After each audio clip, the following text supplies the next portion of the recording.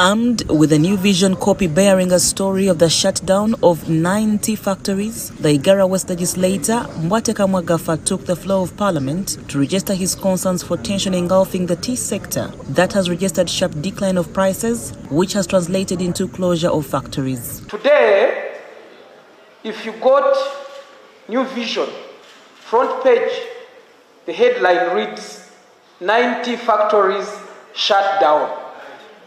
Now, yes, out of 21.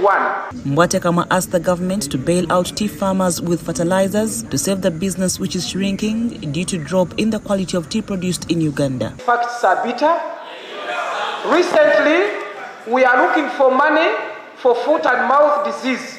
How often have we looked for money to bail out farmers, especially tea farmers? The Honorable Mbwate Kama is NRM.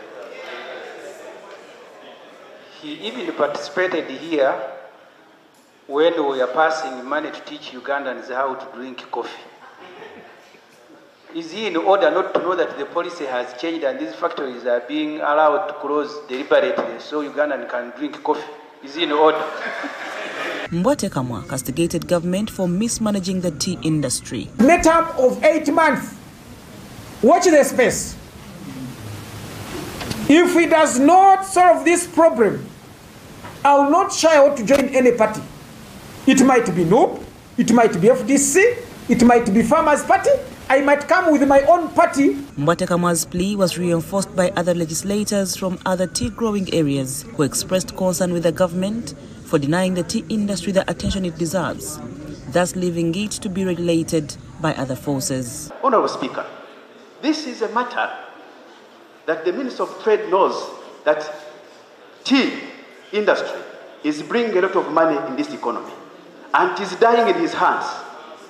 And it is not only for Bushenyi or Ankole, it is Chigezi, Ankole, it is Central, it is wherever, Tolo, and now Zombo. To correct Honorable Mbate Kama, that uh, there are actually 41 factories, not 21.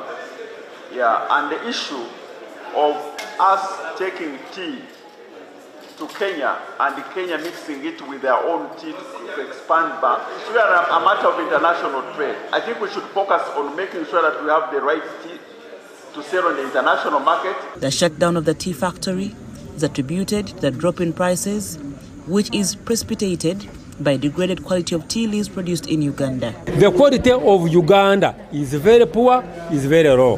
How is it very poor and very low? The standard plucking of tea is two leaves and a bud. Two soft leaves and a bud.